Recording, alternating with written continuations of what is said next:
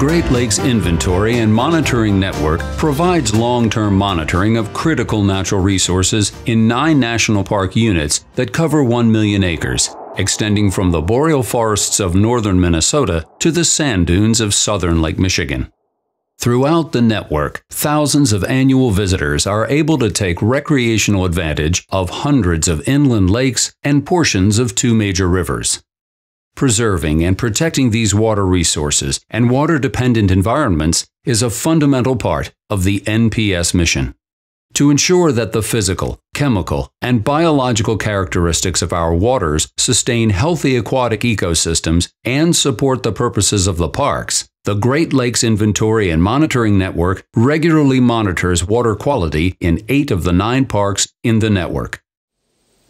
And at those eight parks, we have six parks where we monitor water quality at 30 lakes, inland lakes, not the Great Lakes themselves, but inland lakes. And we have approximately 20 sites where we monitor on the two large rivers uh, in our network, the St. Croix River and the Mississippi River. So we monitor water quality so that we're able to provide um, high quality information to the natural resource managers at those parks uh, right now in case uh, there's an important finding, and also to assess the, the baseline health of the lakes over a longer period of time so that if changes occur at those lakes or at those river sites that we're able to detect those changes and uh, say with a high degree of confidence that those changes are actually happening. To analyze these data, we first have to collect it. That process varies depending on the site we're monitoring. In some cases, we can simply travel to a river or a streamside site, set up, and do the work. In other cases, we have a long boat ride to a trailhead, a long portage with sampling gear and a canoe, and a long canoe paddle just to sample one lake. Once at the sampling site, we take field measurements, use instruments to collect water quality data, and sample water. We have a core suite of um, things that we monitor every time that we visit either a lake or a river site. We monitor water temperature, we monitor the pH of the water, conductivity, uh, and water clarity, and the amount of oxygen in the water. Um, less frequently, we monitor other things like um, like uh, the amount of salts in the water, um, dissolved silica, and, and other parameters that are that are important to the uh, ecology and biology of the waters. Back at our field laboratories, we process sample water and send it to laboratories for further analysis. So what are we finding? Just what is the current water quality in the Great Lakes network? Across all of our parks, we're finding that in general the water quality is quite good. We have a few exceptions to that in areas that are more urban uh, where we do see some degradation of the water quality. But in general, water quality at our at our lakes and rivers is good.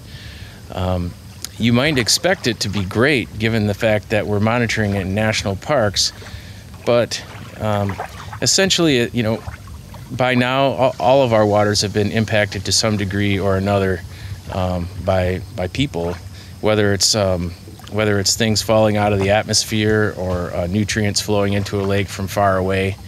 Uh, but in general, water quality is good. We also place our water quality monitoring into a historical context to discover how it has changed over time. We do this by collecting sediment cores that contain a particular type of algae called diatoms, the remains of which accumulate in the sediments over time. What we do with these cores is uh, send them off to a contractor who then is able to date the cores going back 10, 15, and 200 years ago.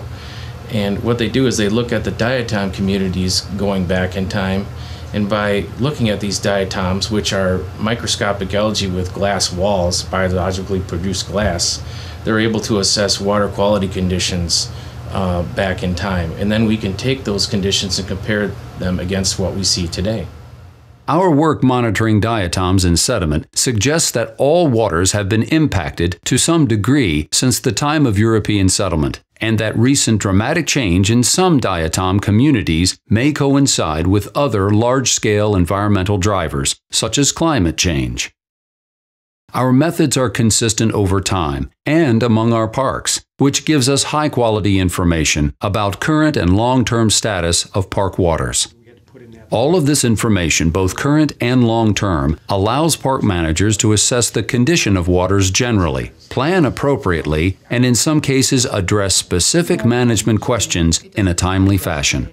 The information is also used in public outreach. We publish technical reports, briefs, and scientific papers, and have a website where it is all available.